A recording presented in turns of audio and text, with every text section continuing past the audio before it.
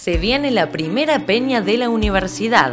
Actuarán el artista uruguayo Alejandro Balvis y su banda, músicos locales, Santiago Lianes y Luciana Tomalino en tango, Diego Godoy en folclore y contarán con la compañía de integrantes de los talleres del PEAM. Los esperamos el domingo 18 de septiembre a las 20 horas en el Viejo Mercado.